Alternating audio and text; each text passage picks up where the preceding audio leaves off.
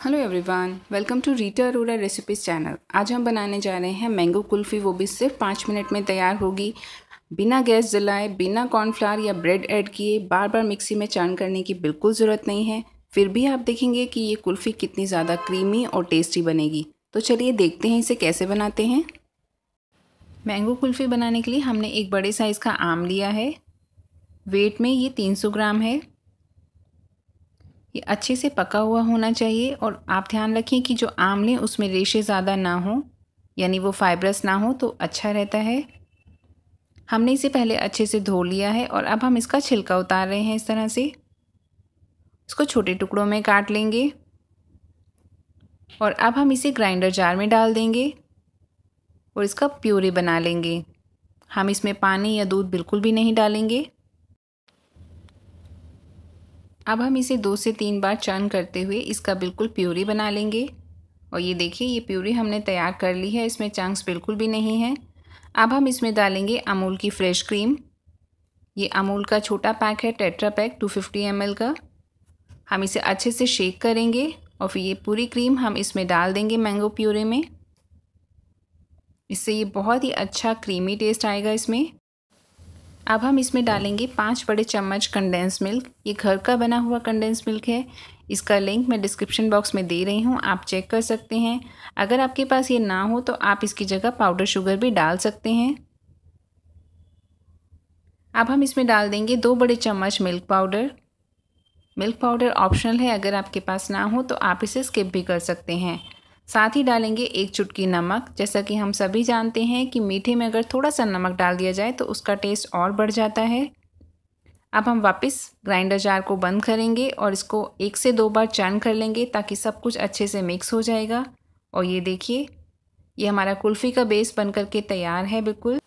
अगर आम कम मीठा है तो आप इसमें थोड़ा सा कंडेंस मिल्क या मीठा और डाल सकते हैं। अब हम ये कुल्फ़ी मोड़ ले लेंगे। इसमें हम ये मिक्सचर डाल देंगे। इसको हम फॉइल पेपर से कवर कर देंगे ताकि इसमें आइस क्रिस्टल्स ना बने। नाइफ़ से ऊपर से थोड़ा सा कट लगाएँगे और इसमें आइसक्रीम स्टिक डाल देंगे। और अब हमने इनको शॉर्ट ग्लासेस में रख दिया है ताकि ये गिरे ना। और अब हम इन्हें फ्रीज़र में रख देंगे छः से सात घंटे के लिए या तकरीबन पूरी रात के लिए। और जो बाकी बचा हुआ मिक्सचर है वो मैं इन्हें आइसक्रीम मोल्ड्स में डाल रही हूँ।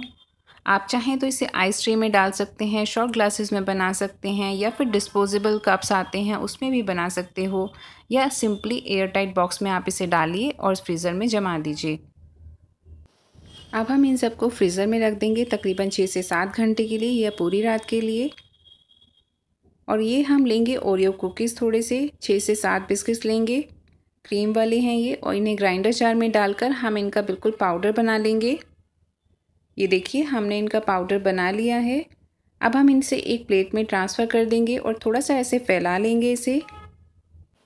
और ये हमारी मैंगो कुल्फ़ी अच्छे से जम चुकी है, बहुत ही बढ़िया से, क्योंकि हमने इसे पूरी रात फ्रीज़र में रखा था। अब हम इसे कुछ सेकंड्स के लिए पानी के ग्लास में रखेंगे। पानी बिल्कुल ताज़ा है।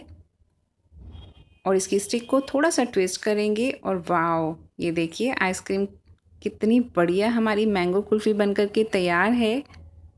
ये बहुत ही ज़्यादा क्रीमी और टेस्टी लग रही है। और अब हम इसके ऊपर थोड़ा सा ओरियो कुकीज़ का जो हमने पाउडर बनाया था या क्रम बनाया था, वो डाल देंगे। इससे इसका टेस्ट भी और इसका टेक्सचर बहुत ही बढ़िया और टेस्टी हो जाएगा। ये देखिए, कितनी बढ़िया लग रही है। मुझे तो अभी खाने का दिल कर रहा है तो आप भी इस रेसिपी को अपने घर में ज़रूर ट्राई करें और अपने अनुभव हमारे साथ ज़रूर शेयर करें।